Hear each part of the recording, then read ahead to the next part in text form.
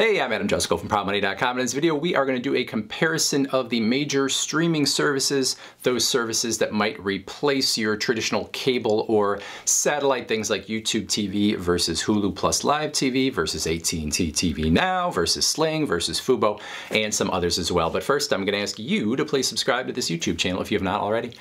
And if you have already, I thank you for doing so. So the idea of cutting the cord has been around for a few years now, but the landscape is constantly changing in terms of who the players are, what channels they are offering, what the pricing is. It keeps going up. And so every six months ago, we try, six months or so, we try to update this video and let you see what is happening in the market. However, the shelf life for this video sometimes is very short. So make sure you check the pricing, you check the channels, anything else out there. This is a good overview to sort of get you started. But if there are some specific details that really matter to you, make sure that you check to see if things are still as I am telling you they are. Now, the nice thing about all of these services is that there's no contract, there's no commitment. You don't really need a whole lot of extra equipment. You need an internet connection and maybe something like a Roku or an Amazon Fire Stick or a uh, smart TV that has some of this stuff built in, but you don't have to have your house all wired up in order to get them, and you can easily switch out of them if you don't like them and try a different one. So in terms of what we are looking at here, like I said,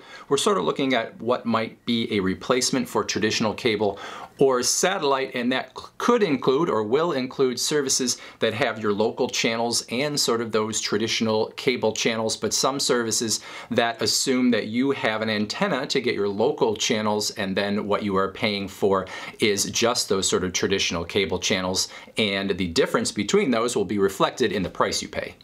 So in my mind, there are five services that you might look at if you are trying to sort of replace traditional cable or satellite. Those being YouTube TV, Hulu Plus Live TV, AT&T TV Now, Fubo TV, or Sling. In this video, we are not looking at sort of add-ons like Netflix or Disney Plus or any of the others like that that give you some great added content, but they aren't really replacing what you think of as your traditional cable channel. So those are the five we're gonna look at and we'll talk about some others as well.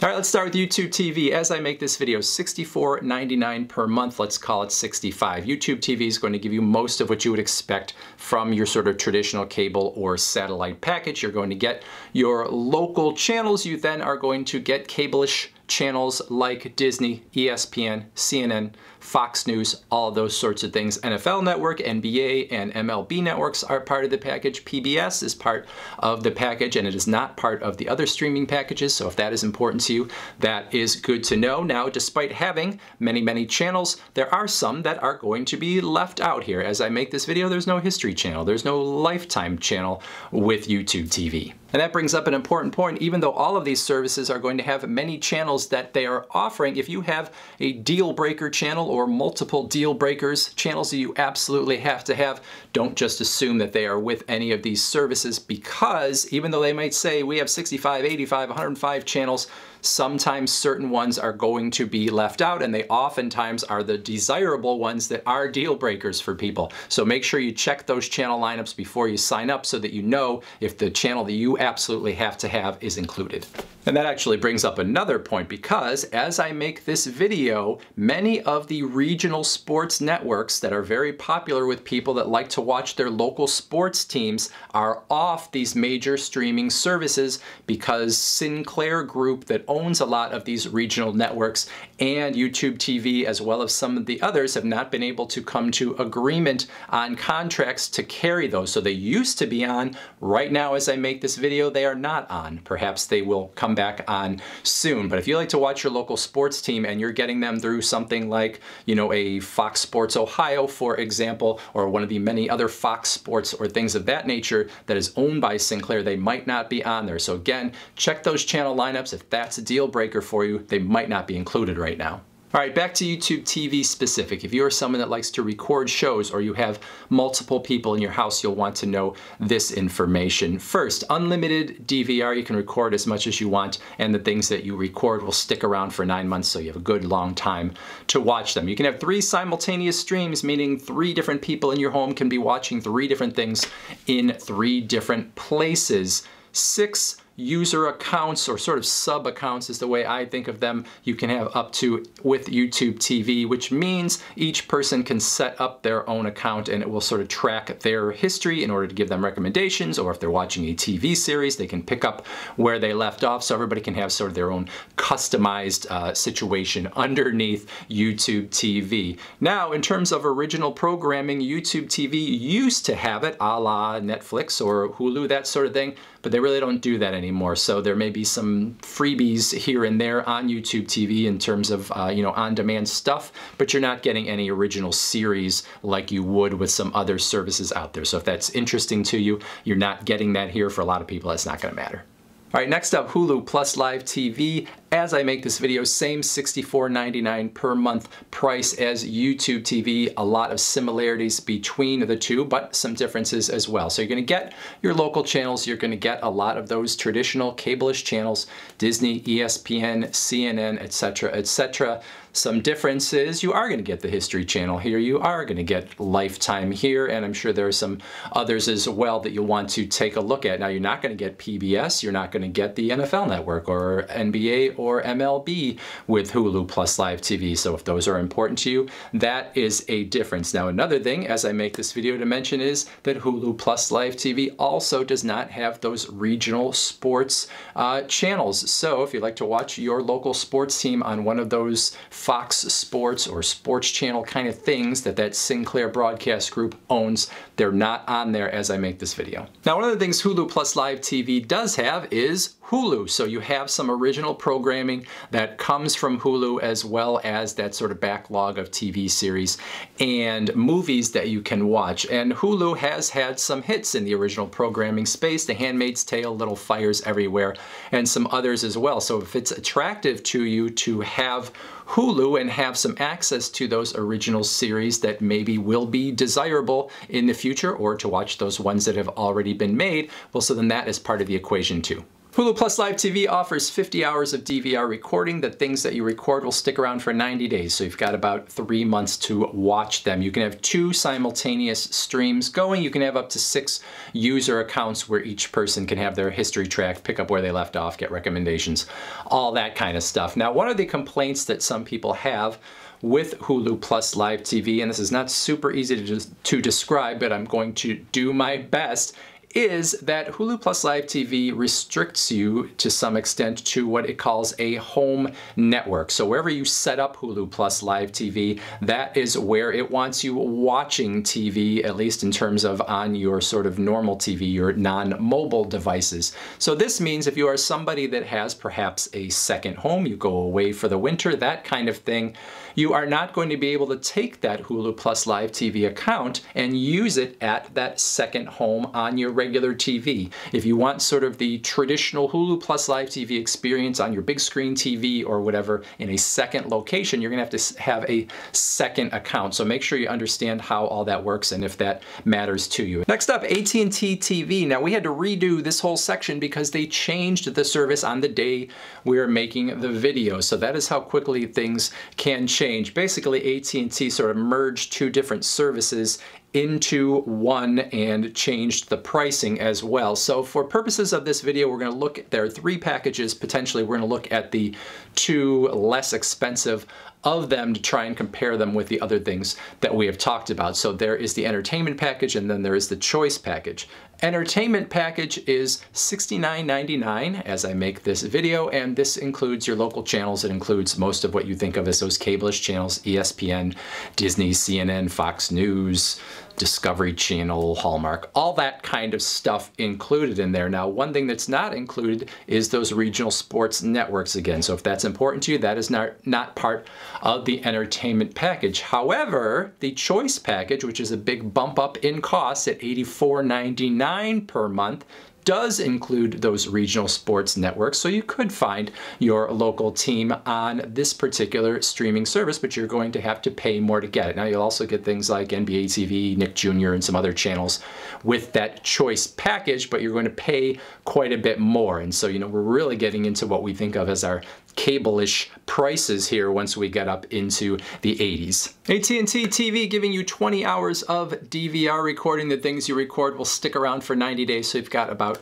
three months to watch them. You can be watching on up to three different devices at the same time, so three simultaneous streams. In terms of user profiles, the different sort of sub-accounts for different uh, members of your family, not sure if those are included here. I don't believe they used to have them, but since things have changed, perhaps this is something that has been added, just don't know right now. In terms of original programming, that is not something offered with AT&T TV.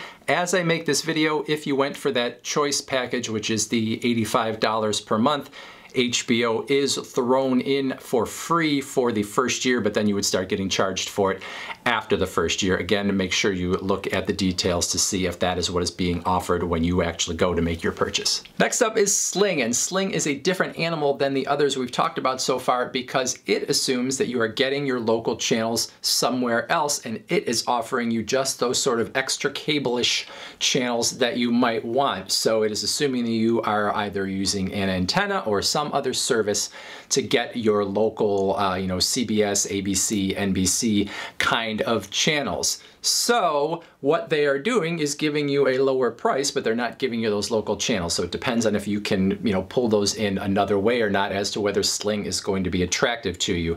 Now, the way Sling structures their offering is sort of weird and sort of evil genius as far as I'm concerned. So they have a blue package and they have an orange package, but it's not like one of them is the bare bones package and one of them is the more expensive package that gives you even more. Instead, what they do is they have a blue package that you could pay 30 bucks a month for. They have an orange package that you could pay 30 bucks a month for, but they sort of split what you would think of as the desirable cable channels into one or the other so that for an awful lot of people, they're probably going to want both of them, and so they're going to pay more to get both instead of buying just the blue or just the orange. So you could pay 30 bucks for the orange, you could pay 30 bucks for the blue, or you could buy them both, and that would cost you $45 per month. Again, you're not getting your local channel, so you're getting a cheaper price regardless of what you're doing there. But the there is some commonality between the blue and the orange. You know, CNN is in both of them, but then you look in the blue, there are some things that aren't in the orange and vice versa. So blue has things like NFL Network and and Fox News, and on the orange end it has things like ESPN and uh, Disney and some other things that aren't in the blue. So for a lot of people, you're going to end up buying both of them. But if there's only just one or two channels you want and they happen to be in the blue or orange, perhaps you could get away with as little as $30 per month. Sling offers 10 hours of DVR recording time. I'm not sure about the expiration on those things that you record. In terms of simultaneous streams, here's another place where Sling's a little bit of an evil genius. If you have the blue package, three simultaneous streams. If you have the orange package, only one simultaneous stream. So it's another way that they sort of cut things up in a way to try to push you into getting both of those packages at the same time. So again, blue and orange sound nice to pay only 30 bucks, but so many people probably get pushed into that $45 per month. You do not have multiple user sub accounts with Sling, at least not as far as I know, unless that has changed in the recent past, and you don't have any kind of original programming with Sling either. Next up, Fubo TV, and in past comparisons I've thought of Fubo as sort of a lesser competitor to the others. Now I've elevated them as sort of one of the majors because I think they've upgraded what they're offering and they can kind of, you know, stand toe to toe with the others. Now Fubo has multiple packages at multiple price points. We're gonna go with the sort of base package, which is $64.99 per month, same as YouTube TV, same as Hulu Plus Live TV, at least as I'm making this video. You're going to get your local channels and you're going to get maybe the most complete package of those other cable-ish satellite channels that you could want. Your Disney, ESPN, NFL Network, History Channel, Hallmark Channel, all that stuff. What is conspicuously absent here, however, is CNN. So if you're someone that likes CNN or expects CNN as part of that sort of cable-ish package, it is not here. If you couldn't care less about CNN, well then the rest of what you're getting might be the most complete lineup of other channels